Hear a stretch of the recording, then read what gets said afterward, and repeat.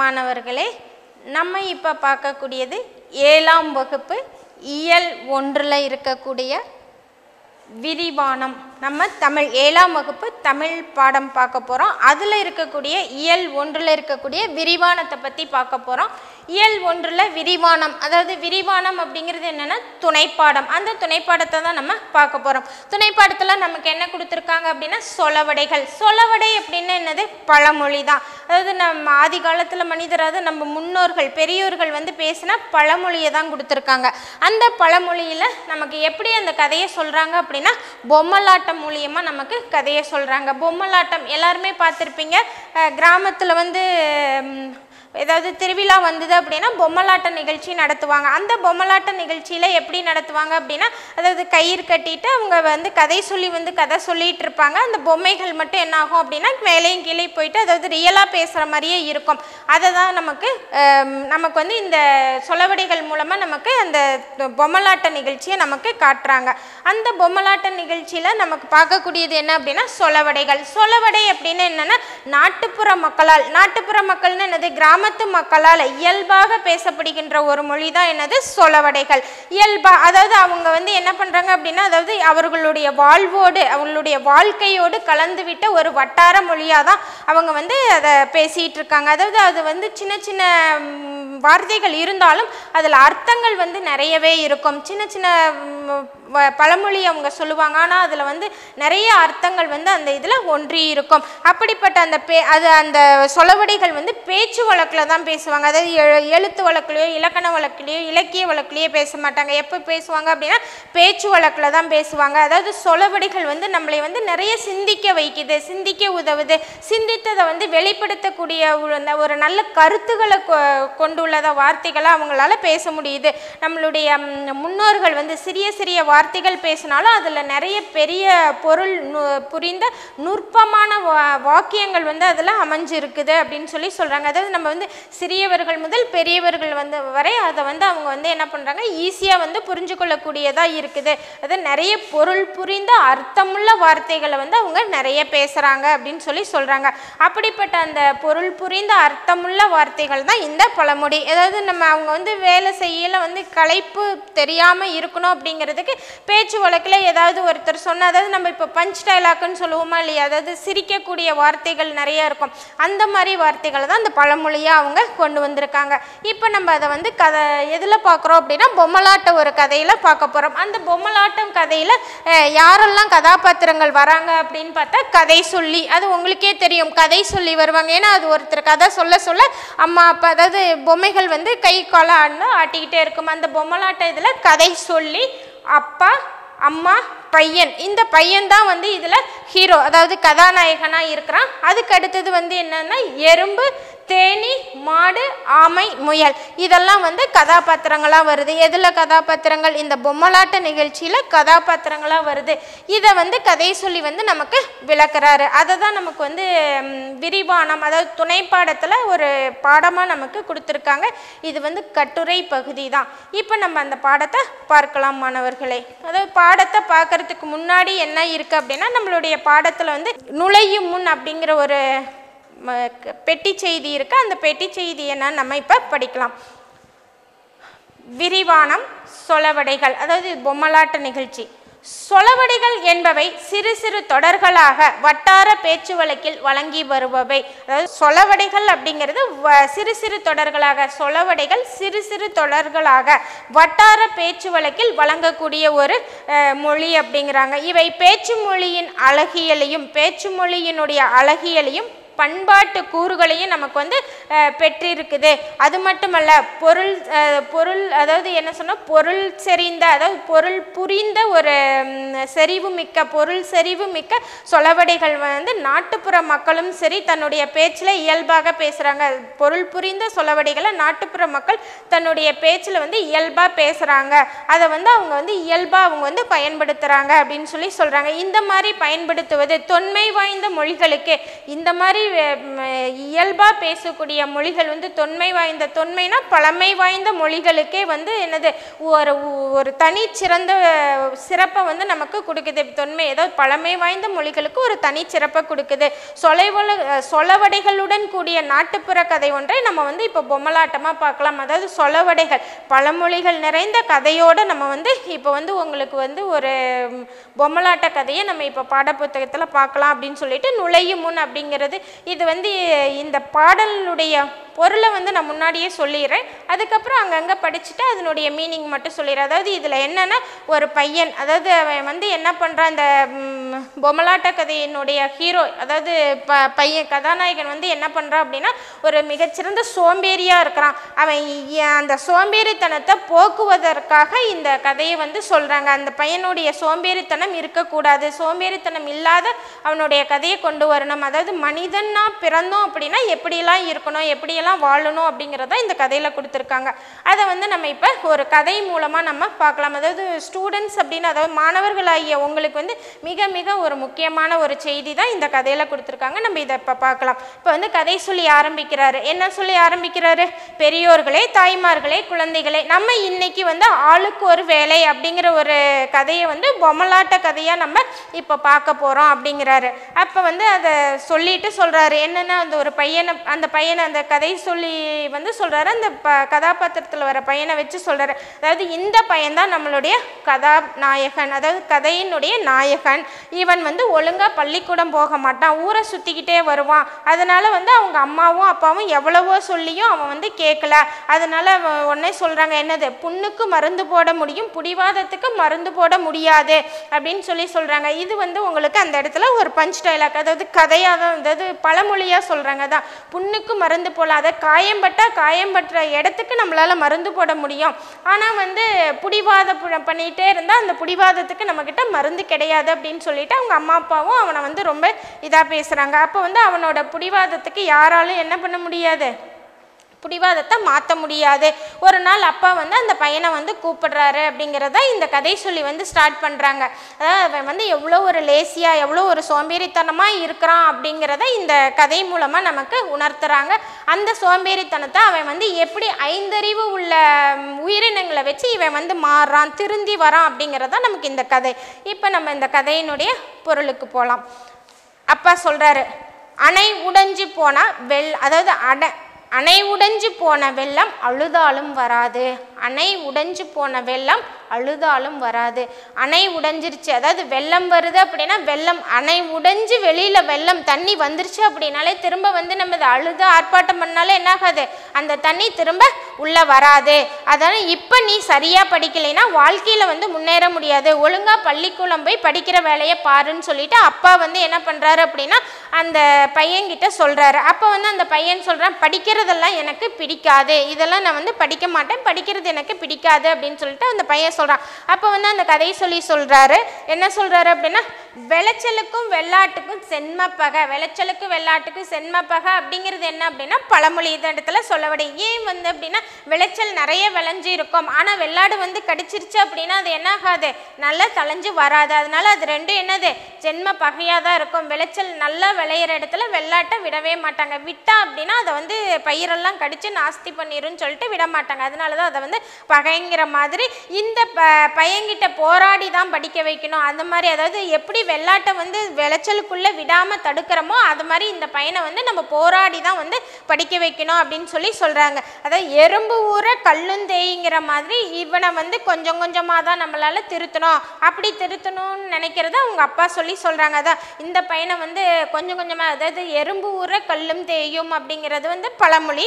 இதை வந்து இவனை வந்து நம்ம கொஞ்சம் கொஞ்சமாக தான் இவன் வழியில் கொண்டு போய் தான் நம்ம வந்து இவனை வந்து திருத்தி கொண்டு வரணும். அதையே நம்ம வந்து இவனுக்கு வந்து பொறுமையாக அறிவுரையே சொல்லணும். அது அப்போ தான் வந்து அவன் வந்து என்னது இந்த ப- நம்ம சொல்கிறத அவன் கேட்பான். ஆனால் வந்து இப்போ நம்ம சொல்கிறது எதுவுமே இந்த பையன் கேட்க மாட்டேங்கிறான் அப்படின்னு சொல்லி சொல்கிறாங்க உடனே பையன் சொல்கிறான் போப்பா பள்ளிக்கூடம் போகிற வேலையெல்லாம் எனக்கு ஒத்து வராது. போப்பா பள்ளிக்கூடம் போகிற வேலையெல்லாம் எனக்கு ஒத்து வராது. அப்படின்னு சொல்லிட்டு அந்த பையன் சொல்கிறான் அப்போ அப்பா சொல்கிறாங்க அதாவது அப்பா சொன்னதை கேட்காம இந்த பையன் வந்து இந்த மாதிரி சொல்கிறான் பள்ளிக்கூடம்லாம் நான் போக மாட்டேன். போகிற வேலை எனக்கு பிடிக்காது அப்படின்னு சொல்லி சொல்கிறான் உடனே கதை சொல்லி சொல்கிறாரு அப்பாவுக்கு கோபம் வருது. சத்தம் போடுறாரு. சத்தம் போட்டு அம்மா வெளியே வராங்க. அதான் அப்பாவுக்கு வந்து ரொம்ப கோ கோபமாக இருக்கு. அவங்க உடனே அந்த பையன்கிட்ட வந்து கத்த ஆரம்பிக்கிறாரு. கத்த ஆரம்பிச்சோன்னா அம்மா வந்து என்ன பண்ணுறாங்க வெளியில் வராங்க அப்படின்னு சொல்லி சொல்கிறாங்க உடனே அம்மா சொல் அம்மா சொல்கிறாங்க என்னது? ராசா உழைக்கிற மாடு தான் ஊருக்குள்ளே விலை போகும். ராசா உழைக்கிற மாடு தான் வந்து ஊருக்குள்ளே விலை போகும். நீ வந்து படிக்கலைன்னா ஊரில் யாருமே உன்னை வந்து மதிக்க மாட்டாங்க. அதனால் நீ வந்து பள்ளிக்கூடம் போய் நல்லா படிச்சுக்கோ அப்படின்னு சொல்லி சொல்கிறாங்க அதாவது அம்மா வந்து எப்பவுமே தன்னுடைய பையனுக்கு என்ன சொல்லுவாங்க? கண்ணே மணியே பொண்ணேன்னு தான் கொஞ்சுவாங்க. அதனால் ராசான் நீ வந்து உழைக்கிற மாடு தான் ஊருக்குள்ள. அதாவது நீ வந்து நல்லா படிச்சினா தான் உனக்கு வந்து மரியாதை கிடைக்கும். நீ படிக்கல அப்படின்னா மரியாதை கிடைக்காது அப்படின்னு சொல்லிட்டு அதாவது மாடு ரெண்டு மாடு இருக்குது அப்படின்னா அந்த உழைக்கிற மாடை மட்டும்தான் எல்லாருமே என்ன பண்ணுவாங்க? தழுவுவாங்க. ஆனால் உழைக்காத மாடை வந்து சோம்பேறின்னு சொல்லிட்டு அதுக்கு எதுவுமே சரியாக தீனி போட மாட்டாங்க தண்ணி வைக்க மாட்டாங்க எதுவுமே பண்ண மாட்டாங்க. அப்போ வந்து அதை வந்து என்னது ஒதுக்கி வச்சிருவாங்க. அந்த மாதிரி நீ நல்லா படிச்சினா மட்டும்தான் வந்து உன்னை வந்து எல்லாருமே பாராட்டுவாங்க. இல்லைன்னா உன்னை யாருமே மதிக்க மாட்டாங்கன்னு அவங்க அம்மா சொல்கிறாங்க உடனே அந்த கதை சொல்லி சொல்கிறாரு என்ன சொல்கிறாரு அப்படின்னா அடைமலை விட்டாலும் செடிமலை விடாதுங்கிற மாதிரி. அடைமலை விட்டாலும் மழை அதாவது மழை பெஞ்சுக்கிட்டே இருக்குது அப்படின்னா அடமலை பெஞ்சுக்கிட்டே இருக்கும். ஆனால் அது விட்டுரும். ஆனால் அந்த செடியில் இருக்கக்கூடிய தண்ணி வந்து என்ன ஆகாது விடவே விடாது. சொட்டு சொட்டு சொட்டு சொட்டுன்னு திரும்ப திரும்ப திரும்ப வந்துக்கிட்டே இருக்கும். அதான் அடைமலை விட்டாலும் செடிமலை விடாதுங்கிற மாதிரி அப்பா விட்டாலும் அம்மா விட மாட்டேங்கிறாங்க போல இருக்கு.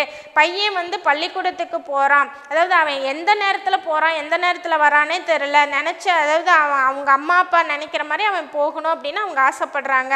அப்படின்னு சொல்லி சொல்கிறாங்க அதான் அடைமலை விட்டாலும் செடிமலை விடாதுங்கிற மாதிரி அப்பா விட்டாலும் அம்மா விட மாட்டாங்க போல இருக்குன்னு நினச்சி பையன் என்ன பண்ணுறான் அப்படின்னா பள்ளிக்கூடத்துக்கு போயிடறான். இங்கே இருக்கிறதுக்கு நம்ம ஸ்கூல்லேயே போயிருக்கலாம்னு சொல்லிட்டு போயிடறான். அவனுக்கு படி படிக்க பிடிக்கல. அவனுக்கு அங்கே அந்த பள்ளிக்கூடத்தில் போய் படிக்கிறதுக்கு பிடிக்கல. நினச்சதாம் கழுதை எடுத்ததாம் ஓட்டங்கிற மாதிரி பள்ளிக்கூடத்தை விட்டுட்டு என்ன பண்ணுறான் அப்படின்னா ஓட்டம் பிடிக்கிறான். அதாவது கழுதை ஏதாவது நினச்சதுன்னா என்ன பண்ணணும்னா ஓட்டம் பிடிச்சிருமா? அதாவது பொதி முதுகில் வந்து சுமை வைக்கிறதுக்கு முன்னாடி என்ன பண்ணுமா? திடீர்னு நின்றுட்டே இருக்குமா? அப்புறம் ஓட்டம் பிடிச்சி ஓடிரும் அப்படிங்கிறத நினச்சதான் கழுதை எடுத்துதான் ஓட்டங்கிற மாதிரி அவன் வந்து என்ன பண்ணுறான் பள்ளிக்கூடத்தை விட்டு ஓட்டம் பிடிக்கிறான். விளையாட யாராவது கிடைப்பாங்களான்னு பார்க்குறான். அங்கே வந்து எறும்பு ஒன்று போய்கிட்டே இருக்குது. உடனே அந்த பையன் வந்து அந்த எறும்புக்கிட்ட போகிறான் அதாவது அவனுக்கு வந்து பள்ளிக்கூடம் படிக்க பிடிக்கல விளையாட மட்டும்தான் பிடிக்குது. விளையாட பிடிக்கிறதுனால அவன் என்ன பண்ணுறான் அப்படின்னா அந்த யாரையாவது தேடுறான். அப்போ தேடையில் ஒரு எறும்பு ஒன்று அங்கே போய்கிட்டு இருக்குது. அப்போ வந்து அந்த பையன் வந்து என்ன பண்ணுறான் எறும்புக்கிட்ட போகிறான் எறும்புக்கிட்ட போயிட்டு அந்த பையன் கேட்குறான் எறும்பே எறும்பே என் கூட நீ விளையாட வரையா? அப்படின்னு சொல்லிட்டு கேட்குறான் அப்போ வந்து அந்த எறும்பு என்ன சொல்லுது அப்படின்னா போ போ உனக்கு தான் வேறு வேலை இல்லை. எனக்குமா வேலை இல்லை. நான் வந்து என்னுடைய குழந்தைங்களுக்கெல்லாம் நான் வந்து சாப்பாடு சேர்த்து வைக்கணும். மழை காலம் வரப்போகுது. நான் எனக்கு தேவையான பொருளெல்லாம் நான் வந்து சேமிக்கணும். அதனால் நான் உன் கூட விளையாட நான் வரவே மாட்டேன் அப்படின்னு சொல்லிட்டு அந்த எறும்பு சொல்லுது. அப்போ அந்த எறும்பு சொல்லையில் கூட என்ன பண்ணுது அப்படின்னா ஒரு பழமொழி ஏதோ சொல்லபடியே சொல்லி சொல்லுது. என்னென்னா குடல் கூழுக்கு அழுவுதாம். குடல் கூழுக்கு அழுவுதாம். கொண்டை பூவுக்கு அழுவுதாம் அப்படின்னு சொல்லுதான் அதாவது என்னுடைய வயிறு வந்து பசிக்கு அழுவுது. ஆனால் வந்து அப்படி இருக்கல என்னுடைய கொண்டை வந்து பூ வைக்கணும்னு சொல்லி அழுவுது. அப்படின்னு சொல்லிட்டு சொல்கிறதா இப்போ சாப்பாட்டுக்கே அடுத்த வேலைக்கே எனக்கு வழி இல்லாதப்ப நான் வந்து உன் கூட விளையாண்டு என்ன பண்ணுறது அப்படின்னு சொல்லிட்டு சொல்கிறேன் அதனால நீ எனக்கு நிறைய வேலை கிடக்குது. நீ போ நீ போய் வந்து உன் வேலையை பாரு. என்ன என்னுடைய குழந்தைங்கள நான் பார்க்கணும் அப்படின்னு சொல்லிட்டு அந்த எறும்பு சொல்லிட்டு போகுது. அப்போ வந்து சொல்லிட்டு போயிட்டு அதுக்கப்புறம் சொல்லுதான் சொப்பனத்தில் கண்ட அரிசி சோத்துக்கு ஆகுமா? நான் கிளம்புறேன். நீ அதோ அங்கே பறக்குதே அந்த தேனி கூட போய் விளையாடு அப்படின்னு சொல்லி சொல்லுது. ஃபஸ்ட்டு எறும்பு கிட்ட போகிறான் எறும்பு கிட்ட போனதுக்கப்புறம் அந்த எறும்பு நான் மாட்டேன்னு சொல்லுது உடனே எங்கே போகுதான்? தேனிக்கிட்ட போகிறான் அப்போ அந்த எறும்பு சொல்லுதான் சொப்பனத்தில் கண்ட அரிசி சோத்துக்கு உதவாது. அதாவது சோத்துக்கு ஆகுமா அப்படிங்கிற என்னென்னா சொப்பனத்தில் நம்ம வந்து அரிசியை பார்த்தோம் அப்படின்னா அந்த அரிசி வந்து நமக்கு சோறாகாது.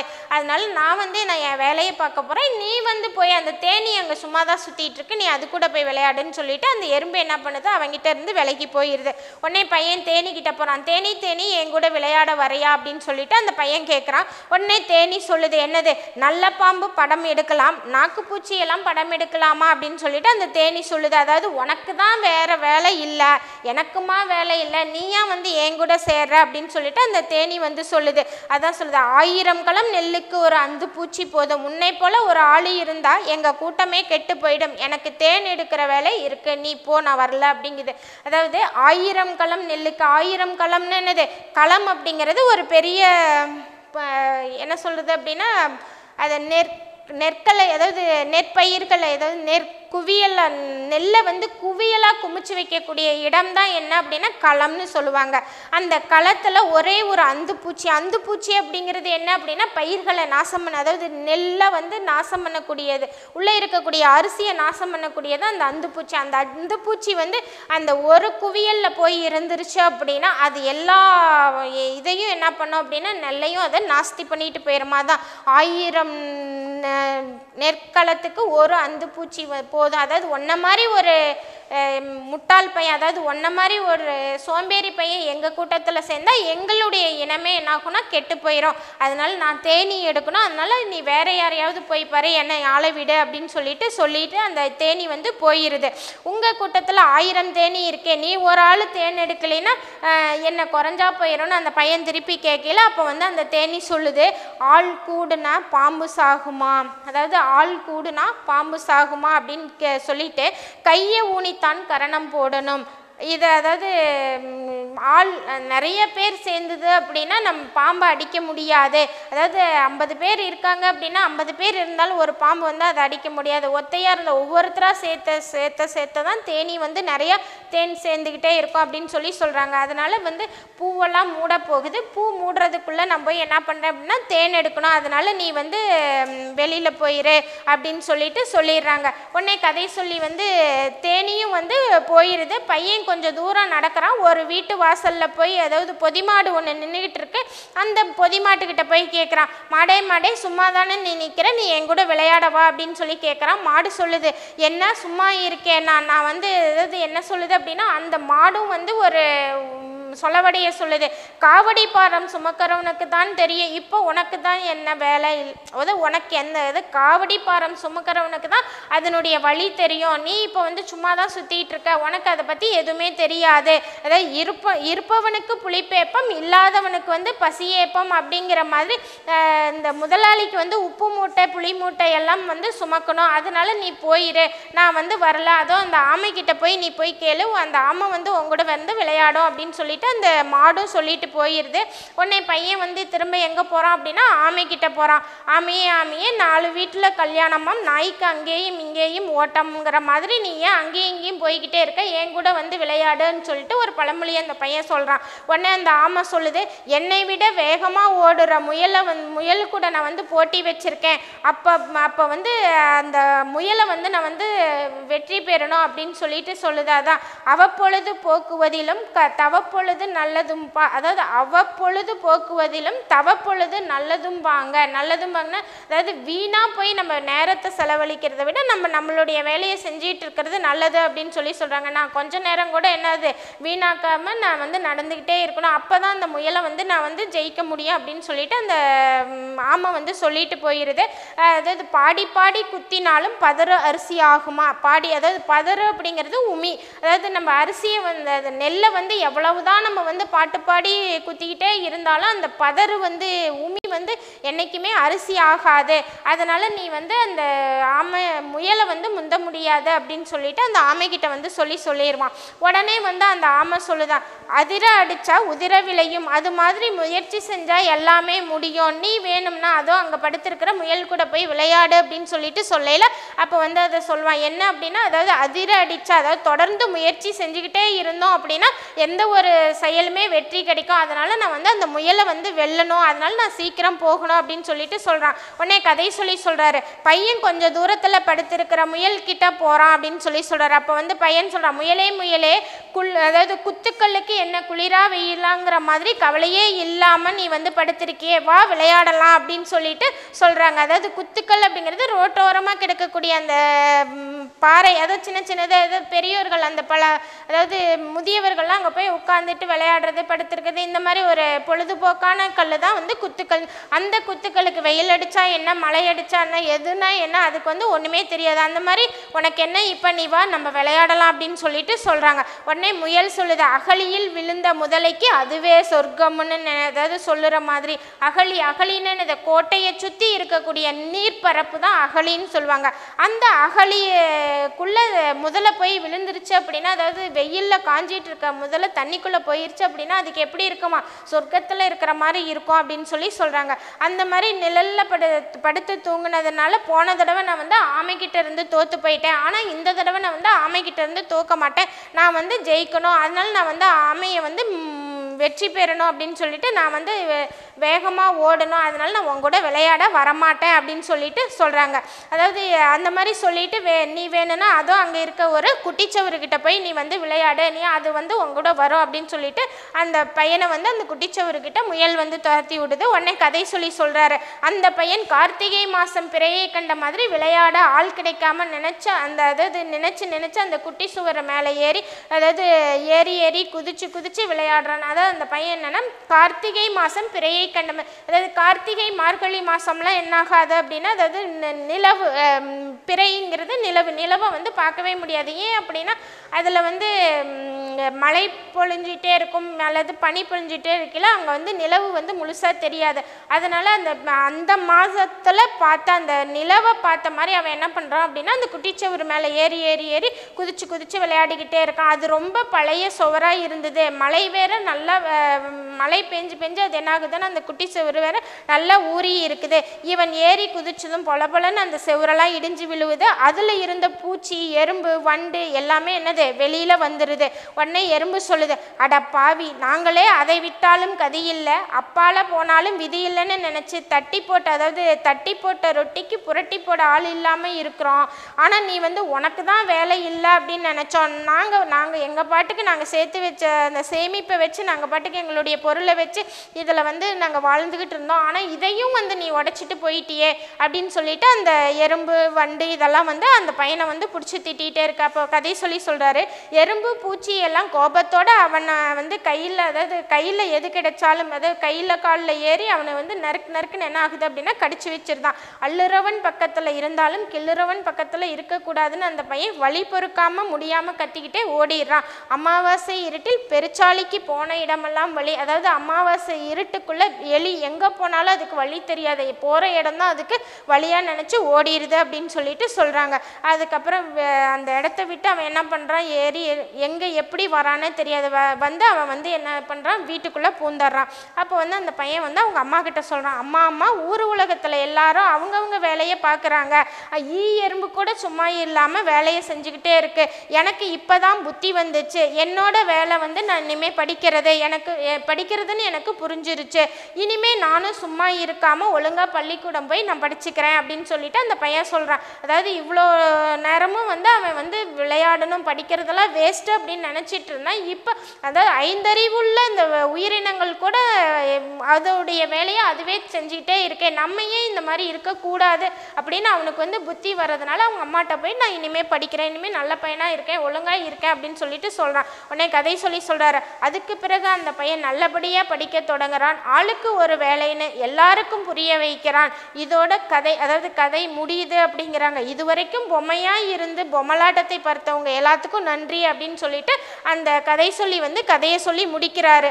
இதுலேருந்து என்ன புரியுது அப்படின்னா இந்த கதை வந்து ஆளுக்கு ஒரு வேலை அப்படிங்கிறது ஒவ்வொருத்தருக்கும் வந்து ஒவ்வொரு மக்களுக்கும் உரிய ஒரு கடமையை வந்து செய்யணும். நம்ம நம்மளுடைய கடமையை கரெக்டாக செய்யணும். இந்த இதிலிருந்து அந்த பயன் வந்து திருந்தி அதாவது ஐந்தறிவுள்ள உயிரினங்கள் கூட இந்த அளவுக்கு உழைச்சி முன்னேறுது. நம்ம ஏன் ஆறறிவுள்ள மனிதன் நம்மளால் ஏன் உழைக்க முடியல அப்படின்னு சொல்லிட்டு அவன் வந்து என்ன பண்ணுறான் இனி நான் வந்து டைம் வேஸ்ட் பண்ணாமல் நான் படிச்சுக்கிட்டே இருப்பேன் அப்படின்னு சொல்லிட்டு அவன் வந்து அதுலேருந்து படிக்க தொடங்குறான். அதை நன்கு படிக்கிறான். நன்கு படித்தா மட்டும்தான் மரியாதை இல்லைன்னா இல்லை அப்படின்னு சொல்லிட்டு அந்த கதையை வந்து முடிக்கிறாங்க. இதுலேருந்து என்ன புரியுது மாணவர்களை? நம்ம வந்து எல்லாருமே நல்லா படிக்கணும். நல்லா படித்தா மட்டும்தான் இந்த உலகத்தில் என்னது? நமக்கு மரியாதை கிடைக்கும். படிக்கல அப்படின்னா நமக்கு மரியாதை இல்லை அப்படின்னு சொல்லிட்டு புரியுது. அதுலேருந்து என்ன தெரியுது? நீங்கள் இனிமேல் இந்த பாடத்தை நல்லா படித்து நல்லா அதை அந்த பாடத்தில் வர கதை மாதிரி நீங்களும் என்ன பண்ணுறீங்க அப்படின்னா உங்களுடைய அறிவை திறமையை வளர்த்துக்கோங்க அப்படின்னு சொல்லிட்டு இந்த கதையை நிறைவு செய்கிறேன் நன்றி மாணவர்களே.